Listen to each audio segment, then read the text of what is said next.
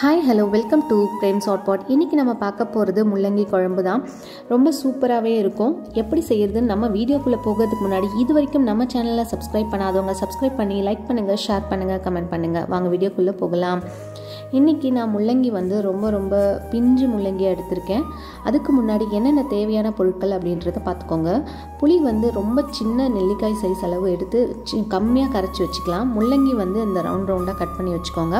When onion வந்து ரெண்டு மீடியமாக சாப் பண்ணி வச்சுக்கோங்க. தக்காளி வந்து நான் ரெண்டு எடுத்து அரைச்சி வச்சுருக்கேன். புளியை கம்மி பண்ணிவிட்டு தக்காளி ரெண்டு பெரிய சைஸில் நான் அரைச்சி வச்சுருக்கேன். இதுதான். இப்போ அடுப்பில் வானல் வச்சுக்கோங்க. மூணு ஸ்பூன் எண்ணெய் விட்டுக்கோங்க. இப்போ அரைச்சி விழுது தான் தக்காளி விழுது இது. எண்ணெய் காஞ்சதும் கடுகு ஒரு ஸ்பூன் போட்டுக்கோங்க. கடுகு பொரிஞ்சதும் கருவேப்பிலை வெங்காயம் ரெண்டு சாப்பிடு வெங்காயம் இருக்கு இல்லையா? அதை போட்டு ஃபஸ்ட்டு நல்லா வதக்கிக்கோங்க. எப்போவுமே காரக்குழம்புனா வெங்காயம் தக்காளியும் நல்லா சுருண்டு வரணும். நெய்னே அதுதான். அப்படி நீங்கள் வைக்கும்போது காரக்குழம்பு சூப்பராகவே வரும். நீங்கள் எப்படி செய்வீங்க அப்படின்றத கமெண்ட்டில் போடுங்க இங்கே. இப்போ இந்த வெங்காயத்தை நல்லா வதக்கிட்டேன். இந்த மாதிரி ப்ரௌன் நல்லா ப்ரௌனாக ஆகின பிறகு அரைச்சி வச்ச ரெண்டு தக்காளி விழுது. அதை ஃபுல்லாகவே பேஸ்ட்டாகவே அரைச்சி வச்சிட்டேன். ஏன் அரைக்கிறோம் அப்படின்னா திக்னஸ் கிடைக்கும் ஒன்று இன்னொன்று கலர் கிடைக்கும். அதனால் நான் எப்போவுமே தக்காளி காரக்குழம்புனா அரைச்சிருவேன். தக்காளியும் இதே மாதிரி நல்லா வதங்கி வரட்டும். அந்த நீர் எல்லாம் சுருண்டி ஒரு மாதிரி நம்ம தண்ணியை ஊற்றாம தான் அரைச்சிப்போம். ஆனால் அதுலேயே தக்காளியிலே நீர் வரும் இல்லையா?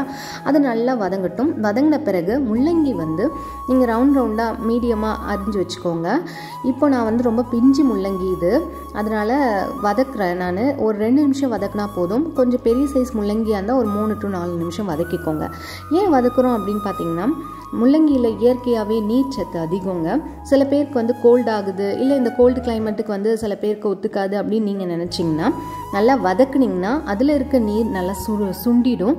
அப்போ நீங்கள் அந் அதிகமாக சளி பிடிக்க வாய்ப்பு இல்லை. அதனால் நீங்கள் நல்லா வதக்குங்க. சில பேர் முள்ளங்கியை தனியாக வதக்கிட்டு கூட இதை குழம்புல ஆட் பண்ணிப்பாங்க. பட் இதுலேயே நம்ம வதக்கிக்கலாம்.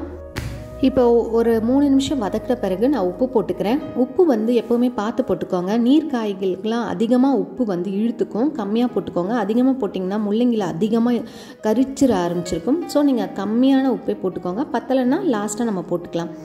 உப்பு போட்டுட்ட பிறகு நான் ரெண்டரை ஸ்பூன் வந்து கார மிளகாய்த்தூள் எடுத்திருக்கேன் குழம்பு மிளகாய்த்தூள் இல்லை இல்லை சாம்பார் மிளகாய்த்தூள் எப்படி வேணால் சொல்லிக்கலாம். உங்கள்கிட்ட அது இல்லைன்னா தனி மிளகாய்த்தூள் ரெண்டு ஸ்பூன் தனியாத்தூள் வந்து மூன்றரை ஸ்பூன் ஆட் பண்ணிக்கோங்க. மிளகு ஜீரகத்தூள் ரெண்டும் அரை அரை ஸ்பூன் ஆட் பண்ணிக்கோங்க. சில பேர் வந்து முள்ளங்கி கூட எறா போட்டு செய்வாங்க. சூப்பராக இருக்கும். நீங்களும் செஞ்சு பாருங்கள் நான் இன்றைக்கி வெறும் முள்ளங்கி மட்டும் தான் செஞ்சு செய்கிறேன் இப்போ மிளகாய்த்தூள் போட்டு ரெண்டு ரெண்டு நிமிஷம் வதக்கிட்ட பிறகு தண்ணி வந்து தேவையான அளவு ஊற்றிக்கலாம் தண்ணி அதிகமாக ஊற்ற வேண்டாம்.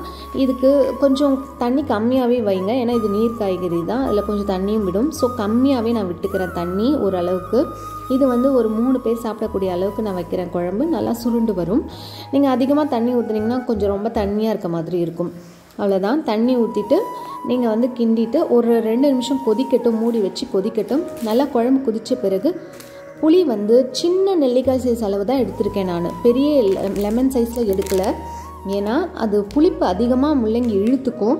தக்காளி நம்ம அரைச்சி ஊற்றிருக்கோம் ஸோ புளியை நம்ம கம்மியாகவே ஊற்றிக்கலாம் இப்போ புளி ஊற்றி ஒரு ஃபைவ் டு சிக்ஸ் மினிட்ஸ் அதாவது எண்ணெய் பிரிஞ்சு நல்லா சுருண்டு வரும்போது குழம்பு நீங்கள் ஆஃப் பண்ணி கருவேப்பிலை போட்டுக்கலாம். அவ்வளோதான் எம்மியான முள்ளங்கி குழம்பு ரெடி ஆகிடும் நீங்கள் எப்படி இருக்குன்னு செஞ்சு பார்த்துட்டு மறக்காமல் கமெண்ட்டை நீங்கள் கீழே போடுங்க.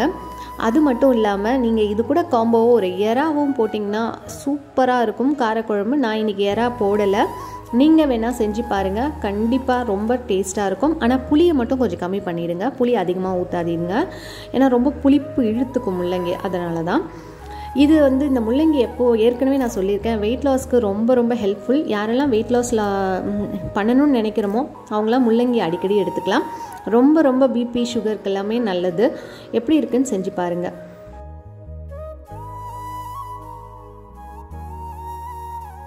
தேங்க்ஸ் ஃபார் வாட்சிங்